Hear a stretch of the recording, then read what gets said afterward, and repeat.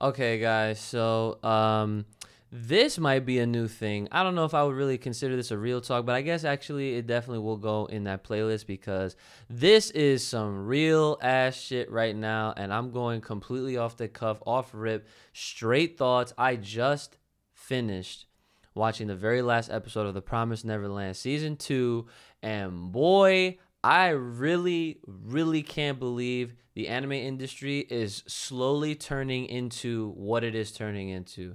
And I'm not even gonna lie, I'm very, um, very worried that this is truly what the the like this is the direction that we're to be going into going forward. I really don't have any actual faith in any kinds of adaptations now. I'm not trying to say that all animes are at risk, but but I, I it does kind of sound like I am saying that. And why? Because we are not ever now guaranteed that we're going to have an actual true adaptation of anything that we are going to be reading from manga and then going forward at that point for the anime. So if you guys know what I'm talking about, if you guys have read the manga and saw Promise Neverland, you will probably agree with everything that I'm about to say. And for those that watched it and probably felt, eh, season two wasn't as good as season one, eh, you are actually correct because guess what?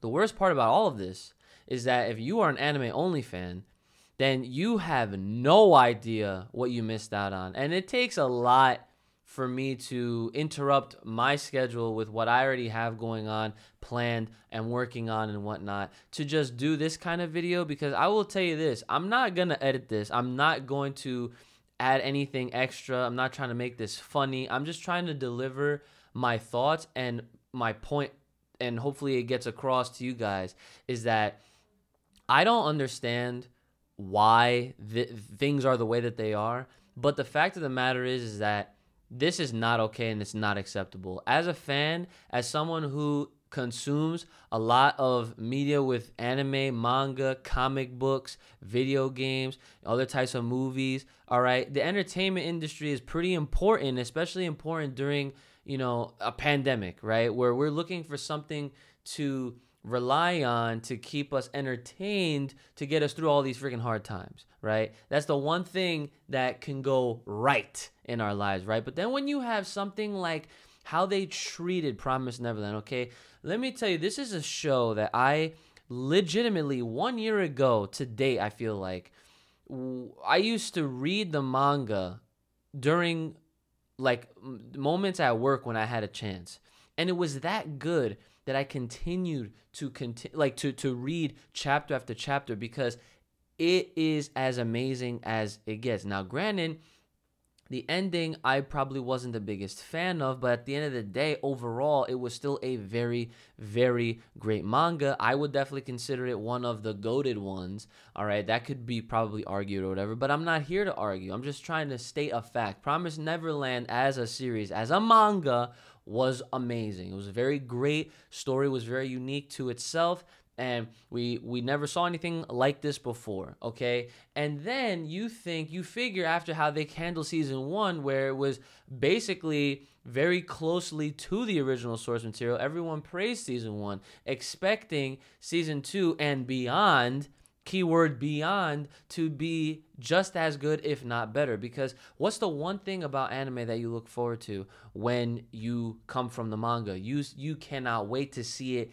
in action with all of its beautiful animations and colors and and voice actors and music the background tracks all of what makes anime amazing and enjoyable and entertaining to watch are the reasons why we look forward to seeing the adaptations. But when the studios behind it all, those that are funding it, those that are putting in their money, right, that are like, okay, well, this is how we're going to go about things, we're going to change things.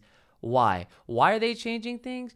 because they're trying to maximize their own pockets. They're not trying to fully invest, and they're just trying to make whatever they're trying to make out of it. And that's it. They clearly, based on what they gave us for season two of Promise Neverland, they are only telling me that they could give a shit and they don't care enough to want to produce something that is of substance that matches or exceeds the original source material. And a lot of people are kind of worried about what they're doing with Attack on Titan because obviously they're calling that the final season, but I have a whole skit coming out for that. And whether I'm wrong or right on that whole predicament, I don't care. Hopefully you guys I you know get entertained and laugh for that one, but either way, I I'm just not liking what I'm seeing. And I feel like we should have we, we, should have paid more attention to other series that have been mistreated that shouldn't have ever been even thought to be mistreated because those animes I'm to reference some okay? I'm you know let me just reference one because I don't want to make this video too long but Berserk okay? For those that know me know that I'm a very big Berserk fan. I love Berserk. Out of all of the the the, the mass majority of series that I'm in, you might think I'm primarily a shonen guy, okay? But but Berserk is definitely ain't no shonen, okay? That is some raw, hardcore stuff, and I'm not even gonna get into it too much. But for those that don't know it, Google it. Okay, it's one of the pillars of the seinen genre of manga. It, it, first of all, Berserk is so good, okay, that you have the creator literally taking however many hiatuses that he that he wants. Okay, my man will leave us dry for a year before he puts out another chapter. But guess what? Everything in that in that manga is so great that you can't knock them, right? So why do I bring this up? Because Crunchyroll decided to bring it back and say, "Oh, this is a popular franchise. This is a popular series. Loads of people love it. Let's make a b- quick buck out of this." And how are we going to do it? We're going to hire a studio that never handles this type of genre for an anime and we're going to have them do it so that we don't have to really fork up the actual funds to produce something of berserk quality and caliber okay? Because if you look at the artwork that miura does i mean it's a it, it makes sense sometimes why you know this dude needs rest because his his work is so fine and detailed unlike many others. And there's great mangaka out there but he's definitely one of the greatest of all time. And they made two seasons of garbage. Okay, now sometimes there's some fans that say, well, maybe it's better than nothing. Sometimes when you see things like this, I think nothing is actually better because, like, why would they waste their time trying to capitalize off of us? And that's, I mean, it's not a waste for them because clearly, what are they doing? They're they're investing maybe chump change in comparison to what it would have cost them to make something of sustenance. And what did they do? They obviously probably made money off of people subscribing, people, you know, whatever, going go, going to their app. That's that they paid up. They're the ones that benefited. Did we as fans? No. We felt like they they pissed on us. They we felt like they humiliated us and disrespected us. And this that concept applies to Promise Neverland. This is another great manga. I'm not trying to compare the two. I'm only trying to compare the the instances, the situations at hand. The fact that they literally could have just simply just recreated what happened. Okay? I think that it's it, it is clear as day to me that even when you have series that are as popular as they are making the kind of money that they do. Because let's be honest, it's not like they're not making enough because even through a pandemic, what are people doing? They're spending all of their freaking stimulus checks, whatever kind of aid that they got. And not everybody's unemployed, okay? A lot are, but not everybody is. People are still going to whatever they can do to entertain themselves. What's happening? They're buying games, they're buying movies, they're buying manga, they're buying comics, they're fucking buying computers. Like, there's there's no excusing it and if any i'm sure there's gonna be people that are gonna be like oh but covid covid covid no that is not that is not an excuse. What's really going on is that the higher ups are taking what we all love, what we have emotionally invested our time and energy into and our money.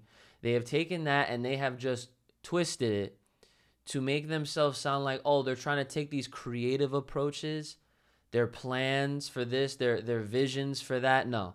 That is the cheapest way to tell us that they don't want to fully commit to what is true, what's a great adaptation, what makes it great to pay the respect to that series that you know got to where it got in popularity for a reason. I mean, listen, people are going to only start getting worse when they start doing this shit to other shows like My Hero, Demon Slayer, God forbid that never happened. I hope it doesn't happen.